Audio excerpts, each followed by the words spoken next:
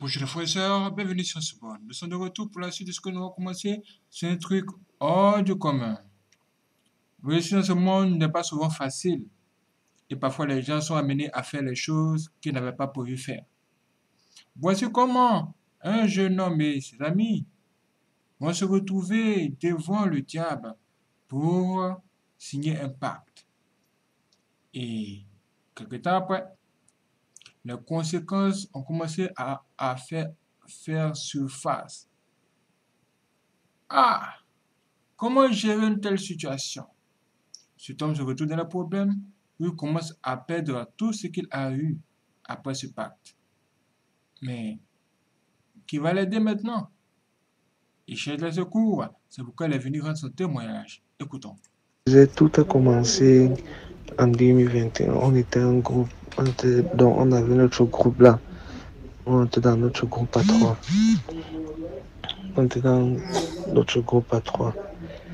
On travaillait avec nos téléphones pour avoir l'argent et tout. Et à un niveau, ça ne donnait plus.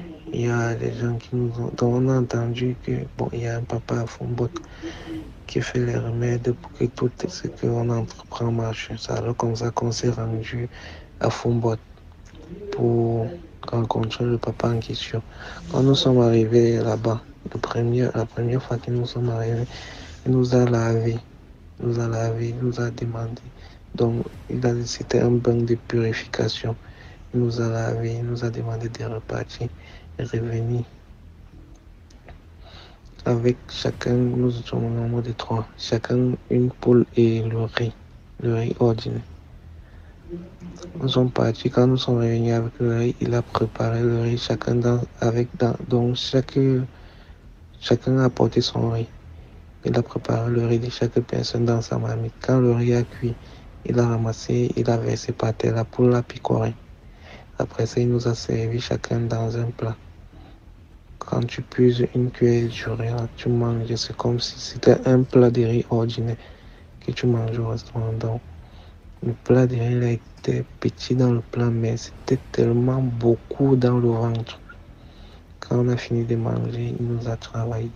Il nous a demandé de partir, que tout ce qu'on va faire va marcher. Quand nous sommes alors partis, on a fait tout ce qu'on faisait, ça marchait, ça marchait. C'est comme ça que tout a commencé au début, donc tout a commencé à tourner au vinaigre au début d'année 2023. Donc en janvier, quand on était en train d'aller à Kribi, on a fait un accident. On était à trois dans la voiture. On a fait un accident sur la route de Kribi. Donc sur l'axe aidé à Kribi. On a fait un accident. Il y a un de nos amis qui est mort à l'hôpital. Le deuxième est mort tout récemment. Donc, dans un matin, on nous a aussi appelé comme ça qu'il est mort dans son sommeil. Maintenant, moi, depuis un moment, je, me, sens les menaces, je sens les menaces dans la nuit, je ne dors pas. Je ne dors même plus. Je sens les menaces. Quand je ferme l'œil, peu importe à quel moment de la journée ou de la nuit, on me poursuit seulement. Tout ce que j'ai déjà eu à faire, voilà mes choses qui sont en train de, des voitures. Je reste, on vient, on me fait les choses, on me fait les choses, tout ce que j'ai eu est en train de partir comme ça. Pour finir, je me retrouve, donc je vois, je suis seulement en train de tourner dans les pertes et je ressens que moi où je suis, je suis à très en danger, je ne dors plus. Rien, rien. Je te raconte, raconte l'histoire comme ça pour que tu postes un peu. Là, on ne sait jamais, il y a peut-être quelqu'un qui sait qui peut m'aider ou bien quelqu'un qui peut m'aider à sortir d'où je suis. Vous voyez la vie C'est pourquoi nous, on pouvait prévenir. On pouvait vraiment prévenir les gens de l'existence de tels pièges. Parce que quand vous entrez dans certaines choses, parfois vous ne savez jamais comment faire pour en sortir. Waouh! Waouh! Si vous avez une solution, laissez un commentaire et dites-nous tout. Bien, nous allons écouter le témoignage, c'est parti. L'histoire que je vais raconter m'a été racontée par ma mère. Je viens de la Côte d'Ivoire. C'est elle-même qui a vécu cette histoire personnellement. Donc elle nous disait tantôt, à l'époque elle était en Lucie.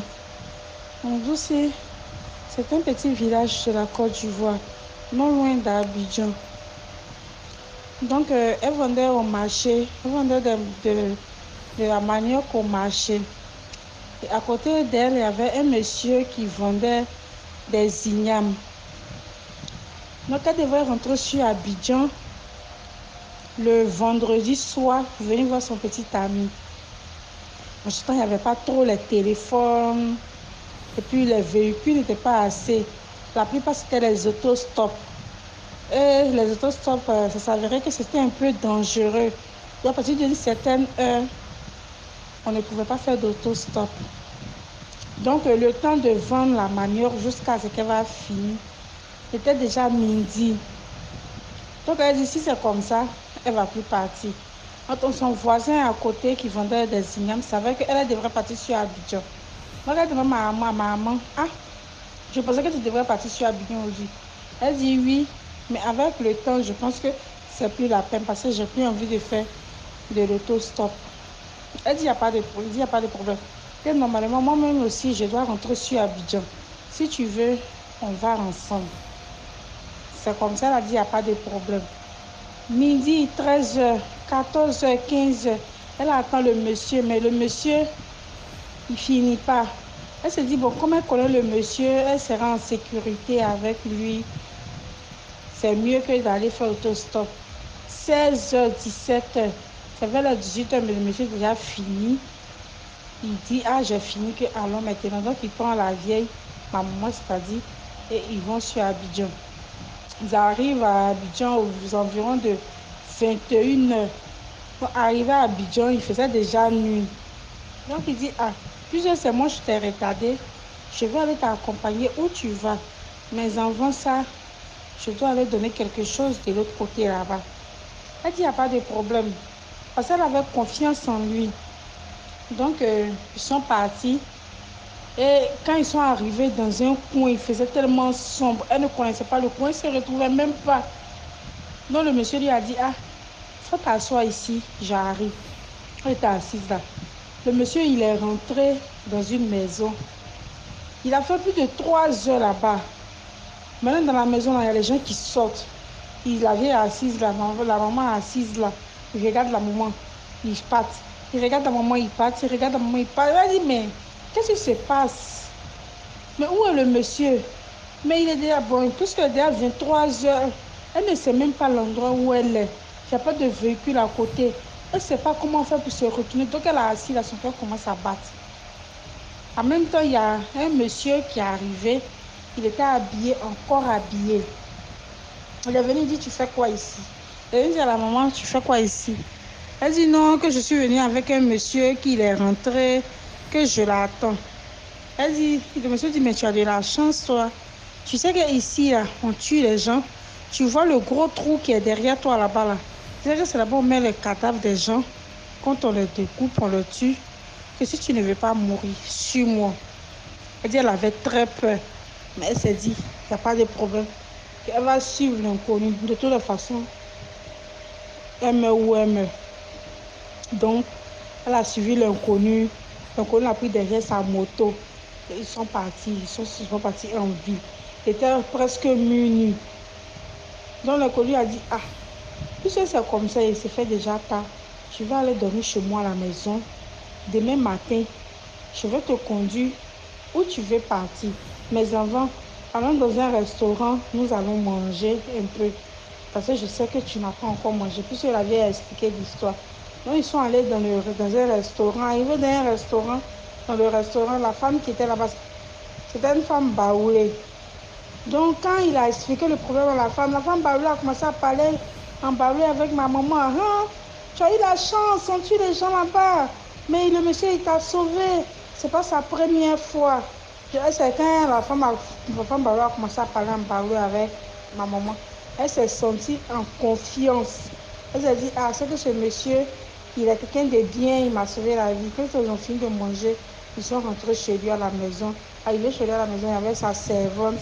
Il a dit à sa servante, ah, fais-lui une place à côté de toi et montre-lui la douche, elle va se laver, elle va dormir, que demain je vais l'accompagner.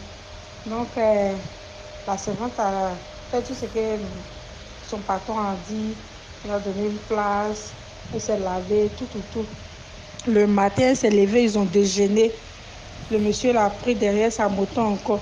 Le monsieur est venu la descendre à la gare pour dire Ah, puisque tu as échappé à la mort là, je préfère que tu rentres au village pour aller expliquer ça aux parents. C'est ça, la vieille a pris la voiture, elle est passée au village pour aller expliquer ça à son papa. Tout le monde pleurait. Tout le monde était dévasté. Donc, c'était le vendredi que ça s'est passé. La vieille est rentrée, c'était le samedi, la vieille est rentrée le dimanche. Donc, le dimanche, puisque c'était jour d'église, mon grand-père dit, ah, que on va laisser aujourd'hui dimanche là. Tu es rentré samedi, on laisse aujourd'hui dimanche. On laisse le dimanche. Le lundi, on ira à Abidjan saluer le monsieur, en tout cas pour lui dire merci pour tout ce qu'il a fait. C'est ainsi que le lundi, il a pris banane, poulet, manioc, igname, en tout cas tout ce qui était au champ. Il a pris un peu de tout pour aller dire merci au monsieur. Arrivé là-bas, où ma maman a dormi, on tape à la porte, c'est quelqu'un d'autre qui ouvre. Elle dit, ah, que on est venu voir tel, tel, tel monsieur. On dit, non, il n'habite pas là. Elle dit, comment ça? Que hier, le samedi, j'ai dormi ici. On dit, non, que ce que vous dites là, c'est impossible. Que nous, c'est nous, on habite euh, cette maison-là depuis plus de 10 ans. Qu'on ne connaît pas hein, ce que tu dis là, la personne dont tu décris. Et puis samedi, vous n'étiez pas ici. Elle dit, c'est non, je crois pas que j'étais ici samedi, j'ai dormi ici samedi. Elle a décrit la maison, que maison là? C'est comme ça, c'est comme ça, c'est comme ça. La douche est comme ça, la douche est ici, la douche est ici. La cuisine est ici. Que j'ai dormi ici. Effectivement, la maison était pareille. Donc, ils se sont regardés et dit Ah, comment se fait-il que non? Décrire la maison avec elle n'a jamais mis pied. Puisque eux, ils venaient d'arriver. Donc, ils ont appelé les voisins qui étaient là, qui étaient des anciens voisins. Ils ont expliqué, on dit oui, effectivement, qu'il y avait un monsieur qui habitait là, avec sa servante. Que le monsieur, il avait l'habitude de, faire souvent les gardes la nuit, parcourir un peu les secteurs pour voir qu'il est en danger, que c'est dans ça ils ont tiré sur lui. Mais il est mort, mais il y a très longtemps. Elle dit, mais j'ai passé la nuit ici, le samedi, j'ai dormi ici. On dit non, que c'est impossible. Que tu ne veux pas venir dormir. Tu ne veux pas être ici samedi. Le monsieur est mort il y a très longtemps. Donc, eux-mêmes, ils étaient déboussolés, ils étaient découragés. Ils ont dit, si c'est comme ça, allons, la vieille dit, allons, je vais te montrer le restaurant dans lequel on a mangé. Là, là, la femme sera mieux nous dire si vraiment le monsieur il est décédé, il n'est pas. Parce que je ne pas comprendre. J'ai dormi ici samedi. Le restaurant dans lequel on a mangé, la femme aussi, elle est bavrée. Donc, ils sont partis dans le restaurant. Arrivé là-bas, à la place du restaurant, c'était un salon de couture qui était là. Un atelier de couture. Ils sont renseignés, ils ont dit, ah, que non, que ici, là, il y avait un restaurant ici, que samedi, je suis venu ici, y avait ici, dans un restaurant. On dit non, qu'il n'y a pas de restaurant ici. Qu'il y avait un restaurant ici, mais il y a très, très, très, très longtemps. C'est le restaurant qu'on a modifié pour faire notre salon de couture. Et ça, ça là, il y a très longtemps que c'est impossible que non. Je sois venu ici samedi pour manger, ils étaient déboussolés, découragés. Donc, les mails même qu'ils ont envoyés, ils ont donné ça même à quelqu'un, tellement qu'ils étaient découragés. Et elle est rentrée à la maison, dit c'est Dieu qui l'a sauvé. C'est Dieu qui l'a sauvé un revenant est parti la sauver. En tout cas, c'était la petite histoire qu'elle nous avait racontée. Elle nous a raconté, nous avons eu la chair de poule. Et nous avons su que tout ce qu'on fait, Dieu met sa main dedans. Dieu a toujours sa main dedans. Merci et bon. Waouh! Que Dieu nous garde. Nous allons écouter encore notre témoignage, c'est parti. Moi, je viens raconter mon histoire. Mon histoire, j'étais encore petite. Et j'étais dans la, dans la préadolescence, c'est-à-dire que j'étais déjà en mode pubère. Les seins commençaient à sortir et tout et tout. Je sautais déjà les, les, fenêtres et mon papa en a eu marre. Et ah, Dave, tu vas. Dave, hein, c'est un nom d'emprunt. Dave, tu vas sortir de ma maison. Il m'a averti une fois, deux fois, trois fois. À la fin, il me dit, tu sors. Bon, comme j'avais un peu de sous sur moi, j'ai dit, je monte sur Libreville. Sur Libreville, quand même, euh, j'ai des parents. Donc, je contacte mon oncle. Et mon oncle, avant, il vivait avec une dame, père à son âme. Et cette dame n'avait pas fait d'enfant avec lui, mais elle est venue avec un de ses enfants. Elle était grande, sa fille. Et sa fille avait, fait, elle avait déjà mis au monde, donc elle avait aussi une, fille à elle. Donc, quand je suis arrivée là-bas, coïncidence, je rencontre aussi mon cousin. Bon, ils sont grands, il n'y a pas de souci, ils ont cadre et tout et tout. Mais quand j'arrive, chose bizarre, je continue en fait à sortir, à aller boire et tout. Mais à la maison, ça n'allait pas. Vraiment, ça n'allait pas. Parce que tout le monde de la maison, en dehors de mon oncle, était goziste. C'est-à-dire qu'ils étaient dans les rites traditionnels. Donc chaque samedi, chaque vendredi, c'est préparé déjà. Aller faire vendredi, samedi, dimanche dans le gozé, lundi partout au travail. Moi, j'étais la seule qui restait à la maison. Donc, ça embêtait la femme de la maison que, ah, nous ici, on a déjà nos habitudes. Tu amènes ta, ta nièce, elle n'est pas dans nos habitudes. Moi, ça me dérange un peu. On est resté comme ça. Voilà mon grand frère, donc mon cousin, a repris dans le vin, dans la drogue. Vraiment, c'était chaud. C'était chaud. Voilà comment il trouve encore l'occasion de parler à mon oncle. Ah, on était tranquille ici, là. Est-ce que tu as, vu, tu as vu ton neveu aller prendre la drogue? Non. Est-ce que tu as vu ton neveu aller boire? Moi, je te dis que c'est l'enfant que tu as amené à la maison, là. Si on n'en amène pas, un peu faire une consultation. Elle va nous détruire dans la maison, là. Mon oncle dit, comment tu accuses un enfant comme ça, là? Moi-même aussi, quand il vient me parler, ah, il me, il prend par les, par les sentiments et tout, que ah, je veux que.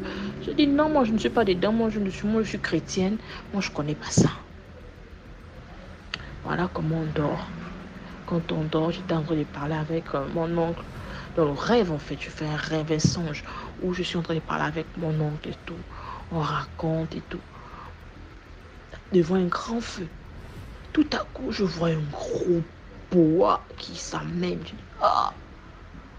Au moment où je veux dire, je veux dire, tonton, regarde le bois qui est devant moi. Lui, il avait disparu. Il dit, c'est quelle histoire? Quand je me retourne pour voir la feu, je vois le lion derrière moi. Je sens que eh, là, je ne peux pas m'en sortir. Je sens que je ne vais pas m'en sortir. Mais chose étrange, j'avais une machette bien limée dans la main.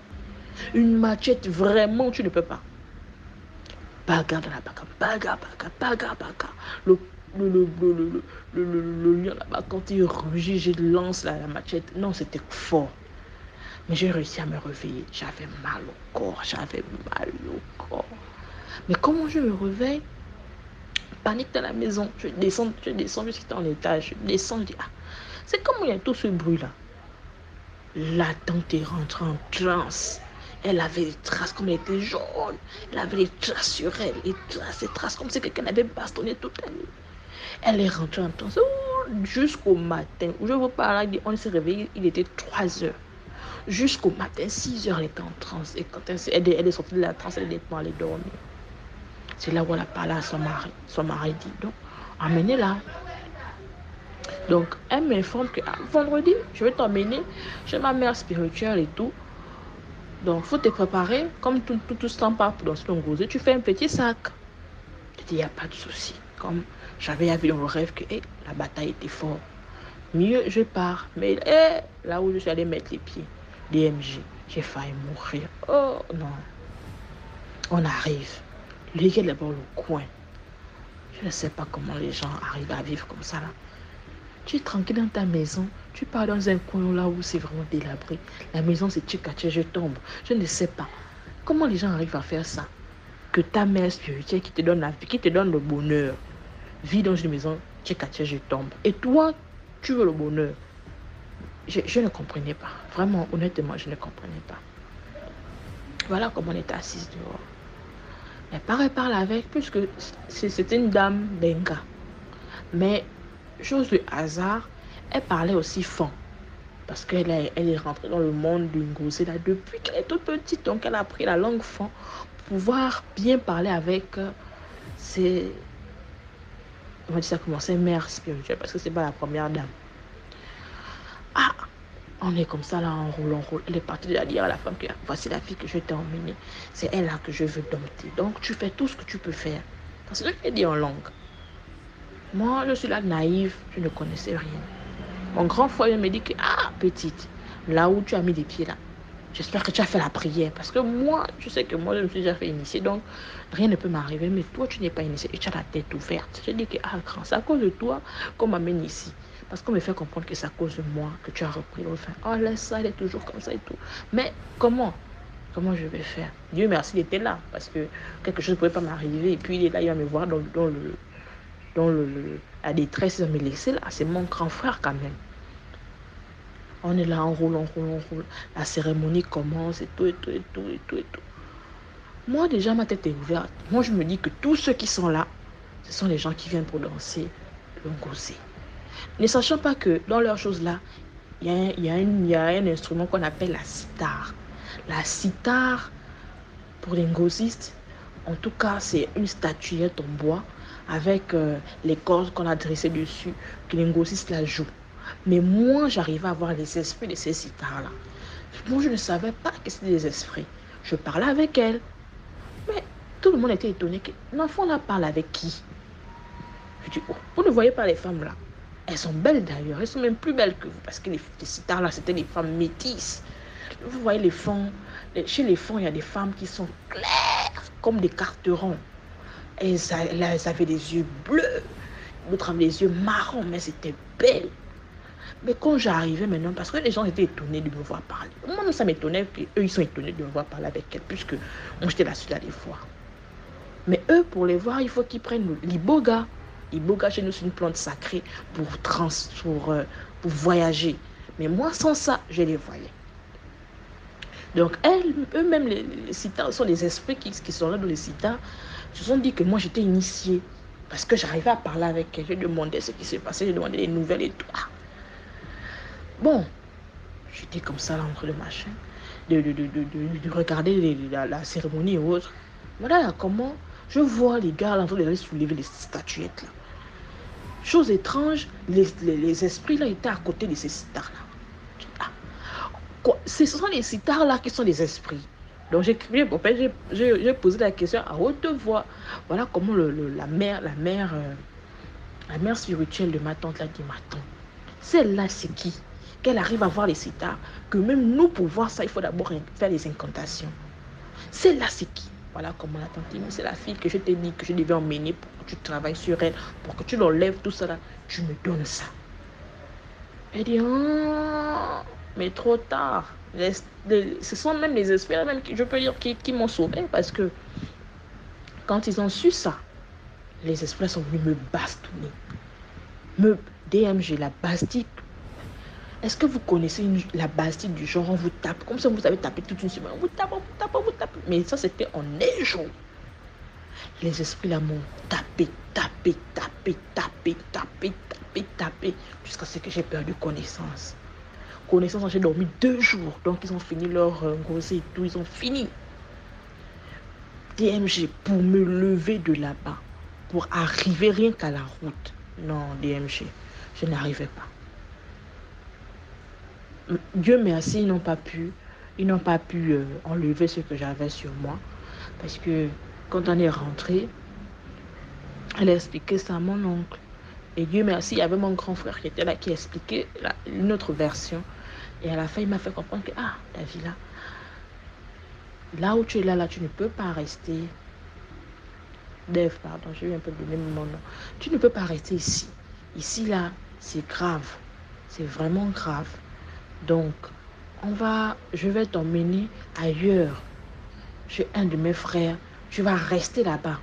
Parce que ici, là, tu risqueras de perdre la vie. Oh, tout ça là, ça cause quoi? Tout ça là, c'est à cause de quoi? J'ai vite fait mes bagages. Illico presto, parce que je te dis, j'ai fait deux semaines, je n'arrivais pas à bouger le petit, même bras, je n'arrivais pas, parce que la Bastille, non. J'ai même eu la chance d'être en vie. J'ai eu de la chance d'être en vie. DMG, quand je suis quitté de là-bas, jusqu'à présent, parce que moi je te parle des, des, des années, on va dire 2010, 2015, 2014. Je te parle en 2022, je n'ai jamais regardé derrière. C'est-à-dire que même, même appeler pour demander que, attends, est-ce que tu vas bien? Jamais. Parce que j'ai eu la peur de ma vie. Les esprits, dans le monde des esprits, existent pour de vrai. Mais, il hmm, faut pas tenter. Parce que si tu tentes, tu peux laisser ta vie là-bas. Vraiment. J'ai eu vraiment pour moi. Oh, ça, c'est pas un monde. Ce n'est pas un monde. En tout cas, moi, je ne peux plus mettre mes pieds là-bas. Donc, euh, je te remercie pour le concept.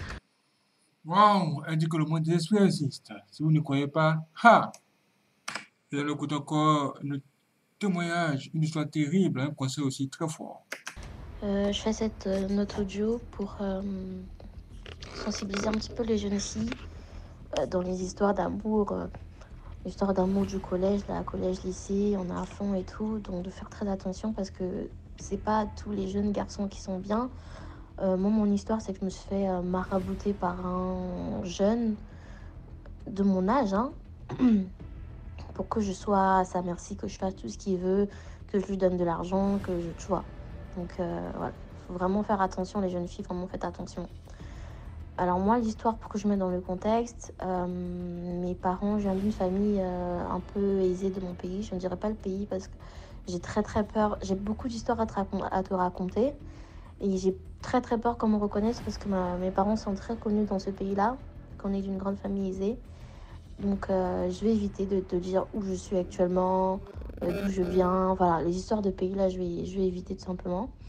Donc actuellement, je suis en Europe, voilà, et euh, cette histoire, elle s'est passée en Afrique, en Afrique centrale. Donc à l'époque, donc euh, j'ai, au début, j'habitais euh, en Europe chez de la famille.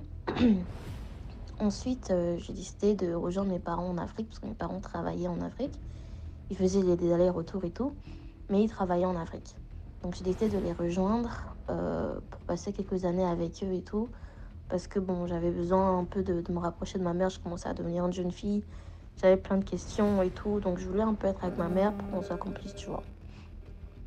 Donc j'arrive dans ce pays-là et tout. Euh, moi, je viens d'arriver, je connais personne, je connais pas grand monde. Je veux, je veux euh, m'intégrer, je veux découvrir du monde, euh, sortir, etc. avec les amis et tout. Donc une amie me fait rencontrer un garçon. Ah voilà, ce garçon-là, machin, tout ça. Moi, quand je le vois, franchement, il m'intéresse pas du tout. C'est pas mon style, tu vois. C'est pas mon style. Voilà, c'est le petit jeune là, Lascar et tout. Voilà, c'était pas trop mon style. euh. Il n'était pas, il n'était pas instruit. Il était, voilà, en plus, c'était c'était vraiment des quartiers défavorisés, bizarres et tout.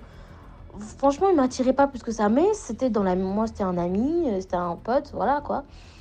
Et euh, rien de plus, quoi.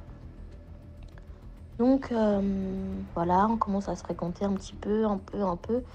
Au fur et à mesure, bizarrement, étrangement, en fait, du jour au lendemain, comme ça, je suis retombée, mais red dingue du mec, quoi. Vraiment, j'étais complètement folle amoureuse du mec.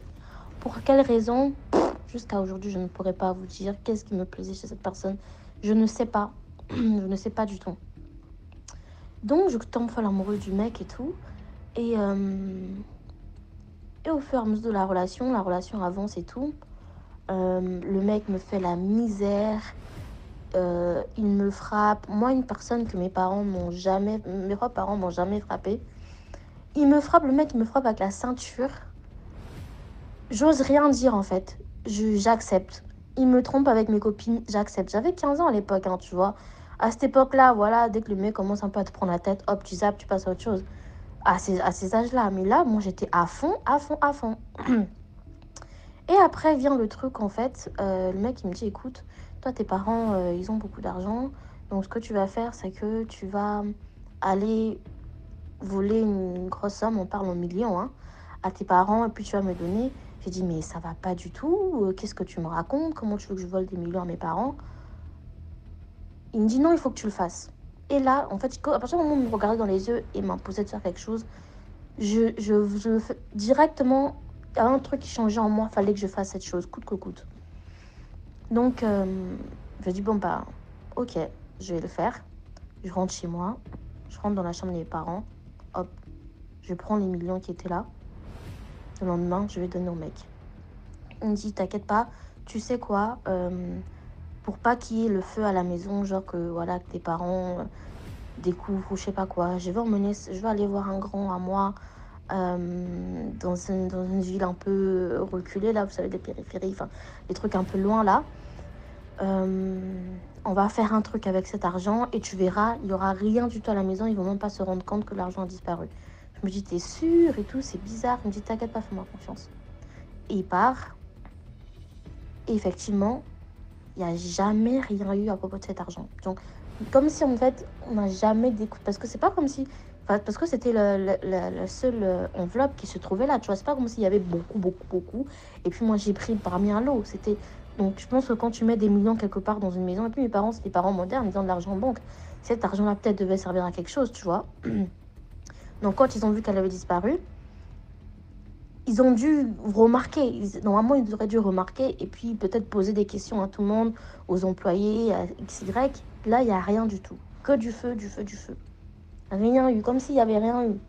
Je me dis, d'accord, ok, donc il a, fait des, il a fait des trucs. En plus, ma mère, c'est une femme qui a le sang chaud. Là, maman, il aurait dû se passer quelque chose. Mais rien du tout. Ensuite, euh, une deuxième fois, je fais la même chose. Mais avant qu'il aille faire son truc là, ma mère a commencé à se poser des questions et tout. Euh, à poser une petite question, machin, par-ci, par-là. Et là, en fait, je lui dis, bah là, en fait, ça commence à, péter un peu ici, machin. Il me dit, ouais, t'inquiète, t'inquiète, t'inquiète, je vais direct voir mon machin et tout. Et dès qu'il va voir son gars, plus rien. L'affaire s'est terminée là, là. Donc, elle a, elle a essayé de... Donc, la mèche a essayé de s'allumer un peu là. Ma mère a commencé un peu à se poser des questions, essayer de demander un peu, mais attends, moi j'ai mis quelque chose ici, pourquoi, machin. Et après, quand on a dit, bah, quand tout le monde a dit, bah, on sait pas, on sait pas, ça s'est arrêté là. Genre, elle a pas voulu, alors qu'elle menaçait, elle disait, ouais, voilà, moi je vais appeler la police, etc. Si c'est les employés, je vais virer tout le monde. Plus rien, dès qu'il allait voir son, grand là, plus rien. Et après, il y a ses amis qui, qui, viennent des fois me disent, mais, mais lui, a, comment il a fait un garçon banal comme lui, là, comment il a fait euh, pour euh, t'avoir une fille, toi, une fille comme ça et tout. Euh, moi, euh, moi, je te dis, fais très attention et tout. C'est ses potes qui disent ça. Fais attention et tout parce que lui, tu sais, il touche à des choses bizarres. Touche à des choses bizarres et tout ça. Il va avoir des trucs, des, gens qui font des. Il va avoir des marabouts, des gens qui font des, des, des, des trucs mystiques, etc. Moi, je pense que ce mec-là, t'as fait un, un marabout. Je sais pas, pas comment on dit. Mara, mec, ce mec t'a marabouté pour que euh, tu sois là à lui donner tout le temps de l'argent, etc. Moi, je dis, mais jamais de la vie, mais qu'est-ce que tu racontes euh, Mais jamais. Lui et moi, on s'aime, c'est l'amour fou et tout, machin, machin. Me dit, attends, tu vas voir. Donc, moi, on continue l'amour, on mange l'amour, toi-même, tu sais. Et puis, il est là toujours en train de me tromper. Hein. Quand je lui donne l'argent, il va jouer, il va s'amuser avec ses meufs et tout ça là. Euh, moi, je suis là, je pleure. Dès que je veux parler, il me frappe. J'accepte. Donc, j'étais complètement sur mon présumé. Dès que je veux dire un mot, c'est comme si en fait, à chaque fois, il rajoutait un degré, de, un degré sur, euh, sur, euh, sur son maraboutage en fait. Tu vois, j'étais vraiment, j'étais comme un légume. Je sais pas si vous allez comprendre. J'étais un pantin en fait, voilà. J'étais sa marionnette. Il fait ça, je fais ça. Il fait ci, je fais ci. Tout ce qu'il va me dire, c'est oui, amen. Tout, tout, tout, tout, tout. Et en fait, ça c'était. Et en fait, puis un jour, en fait, il me dit écoute, euh, moi j'aime bien ton. J'aime bien ton téléphone et j'aime bien ton ordinateur, je veux que tu me le donnes. Je dis mais non, c'est pas possible parce que euh, c'est mon père qui me l'a offert. Euh, euh, ça va pas être possible parce que si ça disparaît, si ça disparaît, on a tout le monde a des ordinateurs à la maison. Si ça disparaît, donc on- en plus on utilise assez fréquemment et tout. On- souvent on est là entre nous, machin. Et mon père, des fois, il me demande pour euh, faire des mises à jour, etc. Tu vois. Donc, si ça disparaît, bah, tout le monde, ça va directement se savoir et on va vraiment. euh, bah, on- mes parents vont pas être contents, quoi. Il me dit, mais c'est ici, donne-moi, t'inquiète et tout. J'ai ah ouais, t'es sûr. Ok. Bon. Moi, j'invente une histoire. Oui, on m'a volé l'ordinateur euh, dans un bar. Je l'avais emmené dans un bar. Et puis, dans la vraie histoire, c'était pas un bar. Mais vu que l'histoire là est un peu connue aussi, donc j'ai changé un peu certaines, certains trucs pour pas être reconnue, tu vois. donc j'ai dit dans un bar, mais j'avais pas dit dans un bar. Euh, donc voilà, c'était un lieu très fréquenté par le public en fait. Les gens passent, passent beaucoup. Donc voilà, j'ai dit, voilà, on m'a volé, je veux dire un parc, voilà, on m'a volé dans un parc et euh, voilà, je trouve, je retrouve plus l'ordi, machin, machin et tout. Mon père, il me dit, Hum, ok, d'accord, ok. Bon, bah écoute, on a commencé à accuser même les gens, ouais, voilà, c'est un tel qui l'avait porté. Et puis, machin, parce que j'avais fait tout un stratagème en fait. Il y avait des gens avec moi, et puis j'avais l'ordinateur, et puis d'un coup, je me suis déplacée, je l'ai donné, il est parti, il a pris un, un taxi, il est parti, tu vois, avec l'ordinateur. Et moi, je suis revenue, toute la journée s'est bien passée. On m'a vu avec l'ordinateur, et puis d'un coup, pouf, l'ordinateur. Et donc, du coup, on savait que l'ordinateur avait disparu. Parce que moi, je suis maline en plus. L'ordinateur et le téléphone. Et donc, euh, voilà, mon père, il fait un scandale. Ouais, c'est sûr que euh, ce sont un tel, un tel. euh, j'avais, parce que j'avais des gardes, en fait. Ce sont l'un des, c'est l'un des gardes, là, qui... qui qui a dû prendre l'ordinateur, je vais licencier tout le monde, machin et tout, machin, machin. On dit mais non et tout, t'inquiète pas et tout, bref. Je dis mais non papa, c'est pas grave, ne licencie personne, c'est pas grave et tout. L'ordinateur est parti, c'est parti, c'est fini, laisse tomber parce que je voulais pas avoir le licenciement d'une personne sur ma conscience, tu vois. Mais au moment, je m'en foutais. Du, du moment où j'ai fait ce que mon mec m'a dit, le reste, ça, c'est pas mon problème. Je crois même qu'il y a une personne qui a dû aller en prison par ma faute. Vraiment, que Dieu me pardonne. Heureusement, après, euh, personne est ressortie, mais ça reste ça pèse sur ma conscience, en fait. Tu vois, parce qu'il y a des choses vraiment qui ont été faites. Je peux, parce que je, j'ai- 10 minutes, c'est pas, je suis déjà à 11 minutes, 10 minutes, c'est pas assez pour tout raconter. Mais c'était vraiment, il y avait beaucoup de choses, beaucoup, beaucoup de choses, toutes les, plus, les unes plus graves que les autres, tu vois. Et euh, donc, du coup, cette histoire d'ordinateur. Ensuite, euh, un jour, en fait, mes parents avaient un bar, une boîte de nuit. Et un jour, euh, on- donc, mon, mon, ex, là, avait l'habitude d'aller dans la boîte de nuit de mes parents. Parce que, du coup, bah, euh, j'avais euh, briefé certaines serveuses et il avait l'alcool gratuit. Donc, il pourrait partir, pouvait partir là-bas, boire gratuitement. Donc, des fois, il allait avec ses potes. Et euh, il avait passé l'ordinateur que je lui ai donné à son pote. Et son pote était là en train de manipuler l'ordinateur dans le bar de mes parents. Et là, il y a un des gardes qui, euh, parce que l'un des gardes de mes parents, là aussi, travaillait en tant que portier aussi dans le bar de mes parents. Et là, il y a l'un des gardes là qui, qui reconnaît l'ordinateur qui était censé disparu, auquel on nous avait accusé. Il dit, attends, mon petit vient par là. Ouais, mais grand, mais qu'est-ce qui se passe et tout, nan. Mais cet ordinateur, tu l'as eu où? Non, mais ça. Un pote à moi et tout, machin. Mon ex, quand il a vu ça là, il a pris le taxi, il s'est enfui, il a pris la voiture et il a fui. Et euh, euh, mais euh, ouais, donc le, le, le garde parle au, mec et tout, au pote de, mon ex en question. Il dit, mais attends, montre, va dans les photos et tout. Et là, on voit dans les photos, on voit mes photos, les photos de mes parents, genre mes photos ma vie en fait, tu vois, parce qu'il avait encore rien supprimé. Et là, il voit ça, il dit, mais, euh, mais attends, c'est toi, toi, t'as volé cet ordinateur la dernière fois. Il dit, non, moi, j'ai rien volé, c'est euh, l'ordinateur de mon pote là qui est là. Mais les photos là, tu, connais la fille qui est dessus? Non, je connais pas la fille, mais c'est la fille du propriétaire de cet endroit. Et ceux-là, là, ce sont eux les propriétaires de cet endroit. Donc, en fait, toi, tu as volé la dernière fois. Il dit, non, non, non, non, mais attends, si j'avais volé, je serais jamais venu avec ici. Tu, je suis pas bête et tout, je t'assure que c'est pas moi, machin, machin. Le mec, dit, ouais, c'est pas con ce que tu me dis, mais il faut que tu me donnes, je me remette cet ordinateur. Donc, le mec, il prend l'ordinateur. Il vient chez nous à la maison. Ouais, boss, machin, voilà, l'ordinateur, on a retrouvé ça chez un petit là, machin, qui était dans le bar. euh, machin, tout ça. Mon père hyper choqué, il ah merci beaucoup, machin. Et mon père il me convoque, il me dit voilà, euh, est-ce que tu l'as donné délibérément donc de toi-même à quelqu'un? J'ai dit non papa, je t'assure, pourquoi j'aurais fait ça? Jamais de la vie. Il me dit t'es sûr, moi je te connais. J'ai dit bah justement, moi je vais jamais donner un truc que tu m'as donné, non non non non. Parce qu'on était déjà en projet de m'acheter un nouvel ordinateur, tu vois. Donc moi, j'étais déjà passé à autre chose.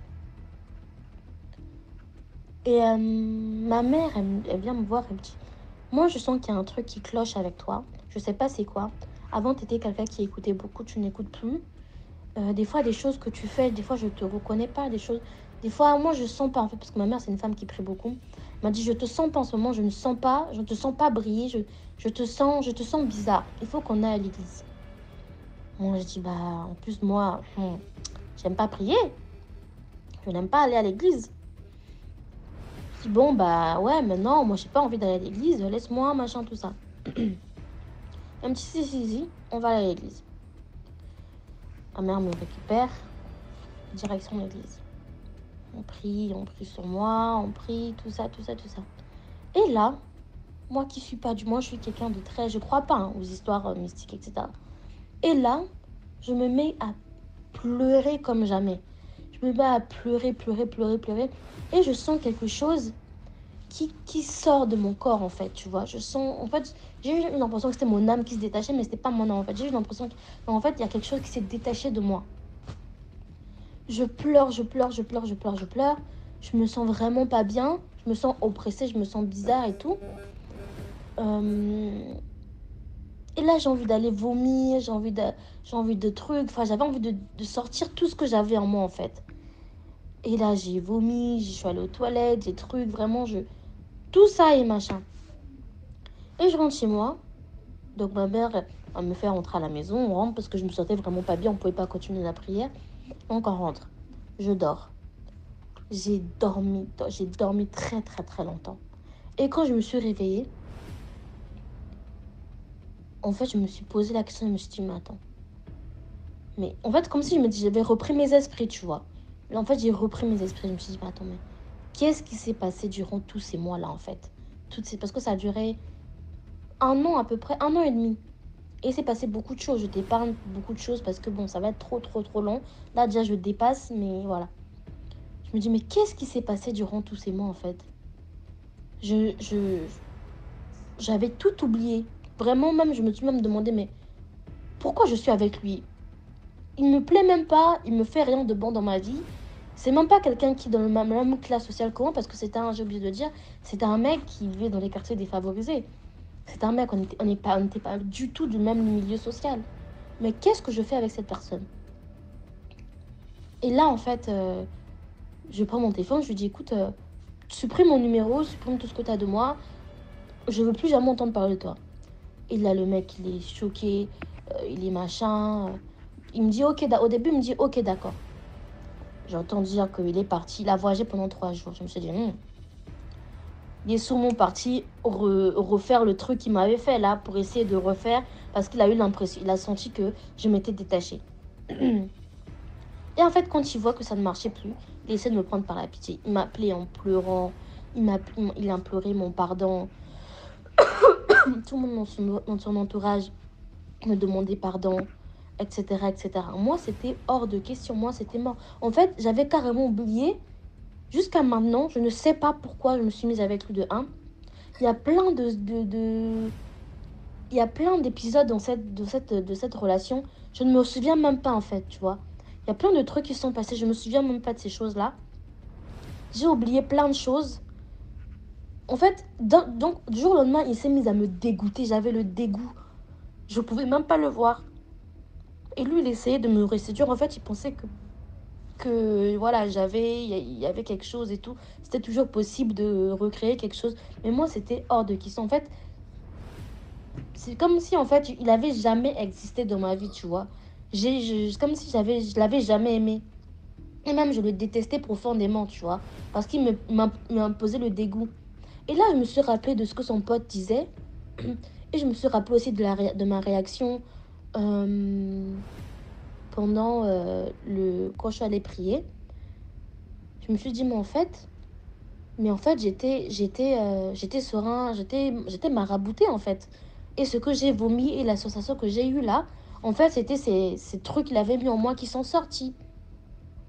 Et je me suis dit, mais en fait, c'est logique. En plus, c'est quelqu'un qui va chez les, chez les, chez des gens, chez des marabouts. Il va chez des marabouts. Même quand tu faisais les marabouts, là, quand tu faisais des accotations pour que euh, le, les trucs ne puissent pas. euh, quand je prenais de l'argent, que ça puisse pas exploser à la maison, bah, je savais déjà qu'il allait voir des marabouts. En fait, c'était tout simplement, simplement des gris-gris qui faisaient, tu vois. Je me suis dit, en fait, je me suis posé, je me suis dit, ah ouais. Donc, en fait, c'était vrai ce que son pote disait. En fait, ce mec, il me faisait du gris du marabout, enfin, du. Je sais pas comment on dit. Il me faisait des, des, des, des, des trucs, quoi. J'étais trop choquée euh, j'ai coupé les ponts direct, direct. J'ai même pas savoir, j'ai même pas cherché à savoir de midi à 14h ou le revoir pour en parler ou lui poser la question. J'ai direct coupé les ponts. Je me suis dit, je veux plus rien avoir de cette histoire. Moi, je suis une fille, on a- on n'a jamais touché un seul cheveu de ma tête. Le mec me fouettait avec la ceinture, j'ai jamais rien dit. J'étais là, je supportais. Genre, mais n'importe quoi, tu vois. Vraiment n'importe quoi. Alors que moi, je suis une fille, dès que quelqu'un hausse le ton devant moi, mais je te ramasse direct, tu vois. Personne me parle mal. Même mes parents ou ma chambre, personne ne me crie dessus. Et là, on me frappe, moi, je suis là, oui, oui, oui, oui, oui, c'est bien, continue. Bref, du coup, euh, je, suis, je suis hyper, j'étais hyper longue, je suis désolée. J'espère quand même que tu vas pouvoir écouter cette histoire, que voilà, j'ai pas été trop longue, excusez-moi tout le monde. En plus, je suis un peu malade. Donc, euh, j'ai plein d'histoires. Je pense que je vais attendre un peu que DMG poste celle-ci avant de renvoyer d'autres. Parce que j'ai pas envie de le bombarder avec toutes mes histoires. Parce que, bon, vous vous doutez bien que, étant d'une famille aisée, il y a beaucoup de choses derrière. beaucoup de jalousie. Beaucoup de. Bref, voilà. Donc, euh, merci à tous. Bonne journée. Waouh, ce n'est pas facile la vie finalement. Dites-moi ce que vous en pensez. Je vous donne rendez-vous pour vidéo demain sur Bien sûr, Abonnez-vous, likez, partagez.